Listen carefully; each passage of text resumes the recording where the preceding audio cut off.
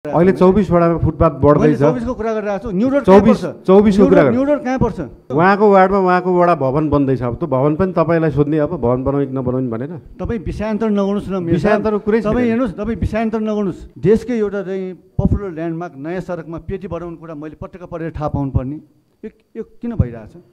तपाईँको? वडामा पत्रिका पढेर थाहा पाउनुभयो कि चौबिस नम्बर वडामा?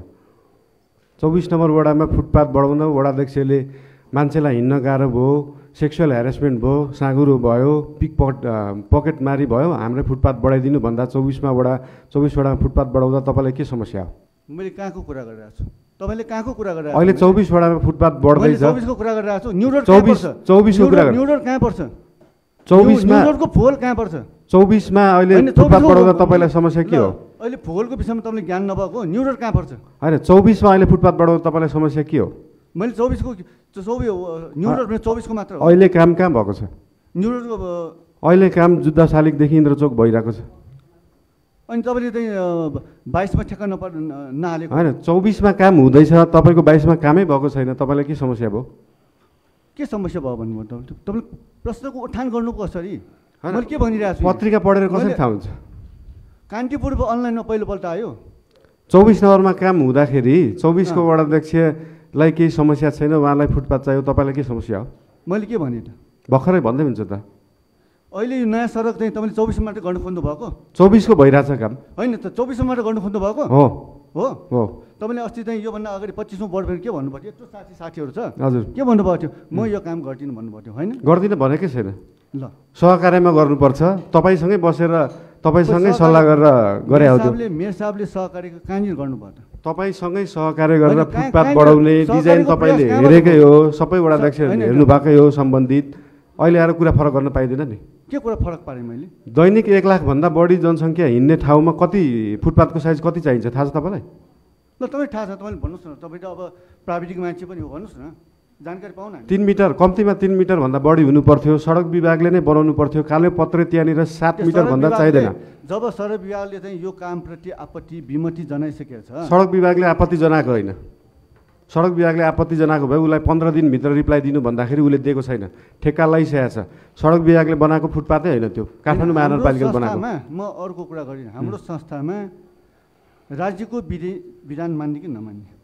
हामीले सम्मान गर्ने कि नगर्ने? राज्यको राज्यको प्रोसेसमा महानगरपालिकाले सडक विभागलाई चिठी काटेको पन्ध्र दिनभित्र उसले जवाब नदिँदा त्यो मान्य सर हुन्छ सडक विभागको कुरा उहाँहरूको पनि कान छ आँखा छ मुख छ उहाँले बोल्नु होला उहाँले सुन्नु होला देख्नु तर न्यु रोडको हकमा न्यु रोडको हकमा इभेन वडा नम्बर बाइसको वडाध्यक्ष मात्रै होइन त्यहाँको स्थानीय मात्रै होइन त्यहाँको मतदाता करदाता मात्रै होइन सबैले बोल्नु पर्छ न्यु रोड भनेको त।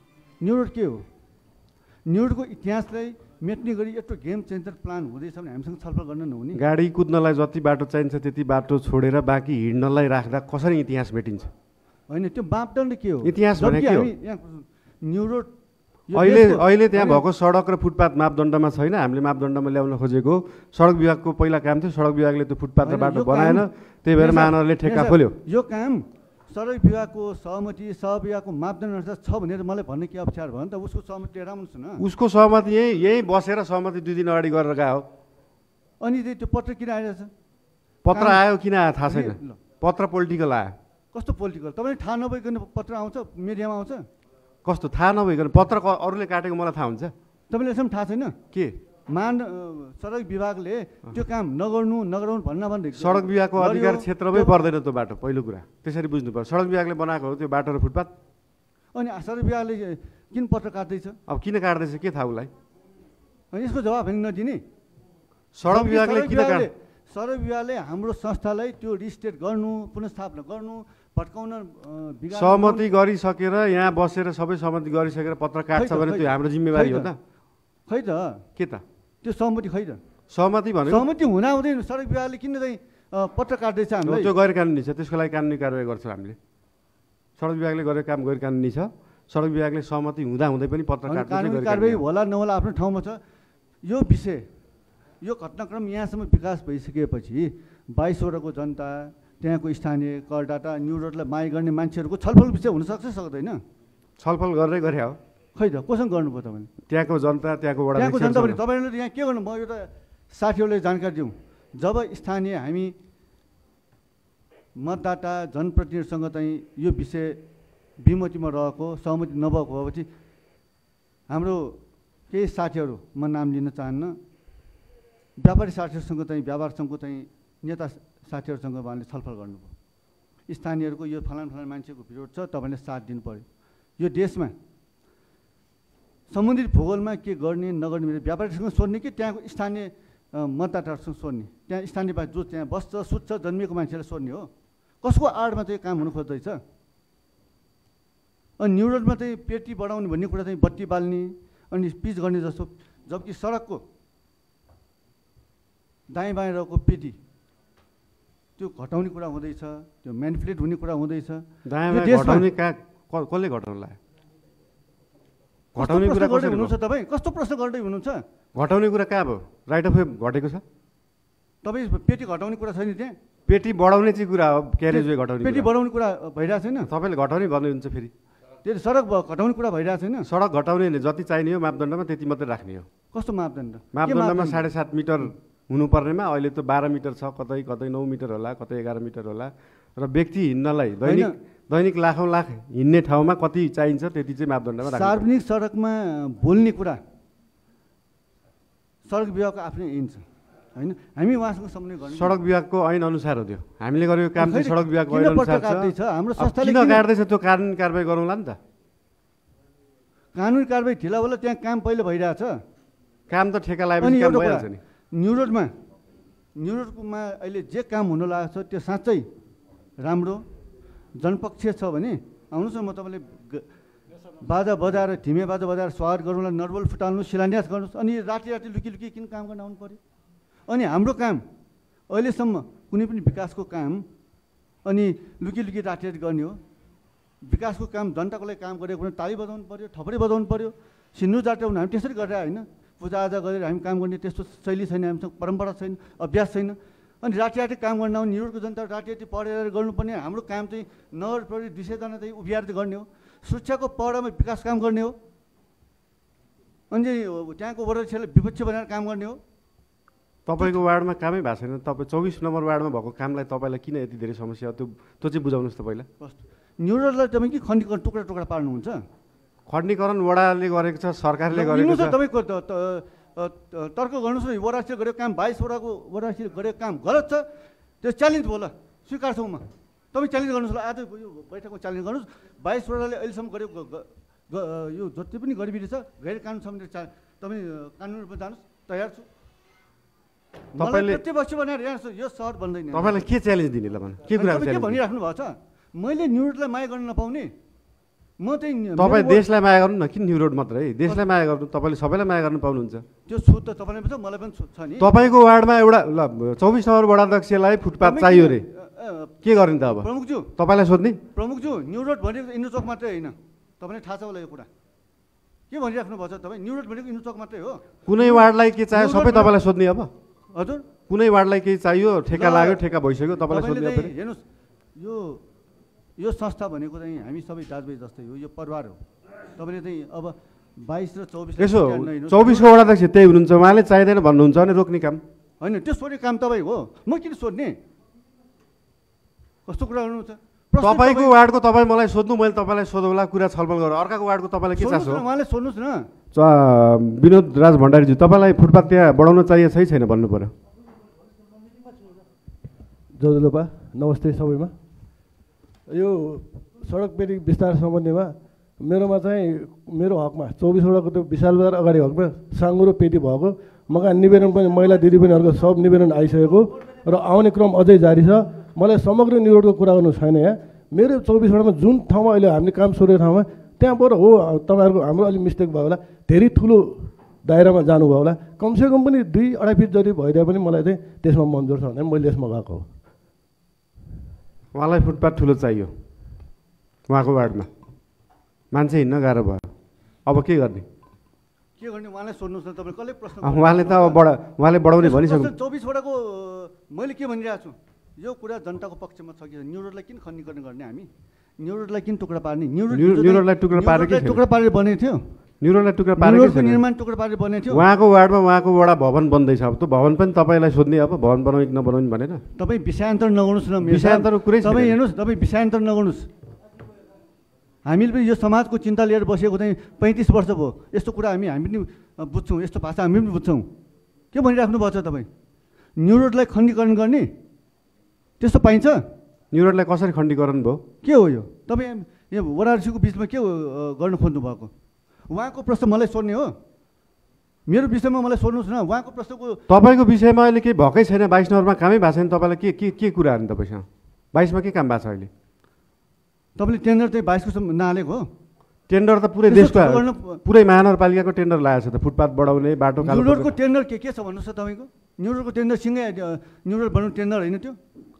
न्यु रोडको टेन्डरमा मेरो प्रश्नको एउटै शब्दमा एन्सर दिनुहोस् न्यु रोडको टेन्डर जाँदाखेरि जुद्ध शालिगदेखि न्यु रोड गेटसम्म जुद्ध शालिगदेखि धर्मपर्सम्म जुद्ध शालिगदेखि इन्द्र चौकसम्मको सँगै त्यो न्यु रोडको टेन्डर गएको हो कि होइन? हो। अनि तपाईँ के? भन्दैछु अनि के त? अलिकति तपाईँ के भन्दै हुनुहुन्छ? अहिले इन्द्र चौकमाथि बनाउने इन्द्र चौकमाथि बनाउने त्यस्तो त्यस्तो कुरा? गर्ने भने धुलो रहितमा पुरै आठैवटा वार्डको गएको होला कता? म म गर्दिनँ। मेरो विषयमा त कुरा विषयान्तर यहाँनिर आज एजेन्डा पनि आएको होला। कतै फुटपाथको ठेका लगाइसक्यो त्यहाँ बनाउनु सम्भव भएन भने सर्छ परि त्यो। प्रमुखज्यू समय थोरै छ है। त्यो कारणले अहिले विषय उत्थान भएको विषय न्यु रोडमा कुरा गरौँ। न्यु रोडको विषयमा तुङ न्यु रोडको सबै टेन्डर लागेको हो। जुन जुन जनप्रतिनिधिलाई सहज लाग्छ बढाउनु पर्छ त्यहाँ गर्ने जुन जुनलाई लाग्दैन नगर्ने के भयो त त्यसमा? यो पक्का हो? अब पक्का हो। अब त्यही त भइरहेको छ। अब यहाँ सबै साथीहरूलाई यो स्मरण गरौँ होइन? यो भोलि पनि सम्झिनु पर्ने भोलि पनि सम्झिन लागेको विषय हुनसक्छ। मेयर साहबले यो बैठकको चेयर गरिराख्नु भएको मेयर साहबले भोलि जहाँ जहाँ मन लाग्छ त्यहाँ त्यहाँ मात्रै न्यु रोडको अहिले सडक पेटी बढाउने सडक खुम्च्याउने योजना चाहिँ कार्यान्वयन गर्ने भयो।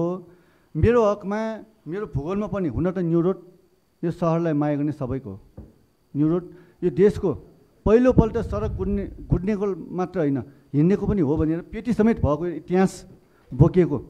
सहरीकरणमा त्यो इतिहास बोकिएको चाहिँ सडक भएको कारणले यसलाई चाहिँ म्यानिपुलेट नगरौँ भन्ने चाहिँ हाम्रो माग हो। त्यो भएको कारणले बाइसवरको जनता बाइसवरको जनप्रतिनिधिहरू एकमना ढङ्गले न्यु रोडमा नचलाउनुहोस् न्यु रोड नबिगार्नुहोस्।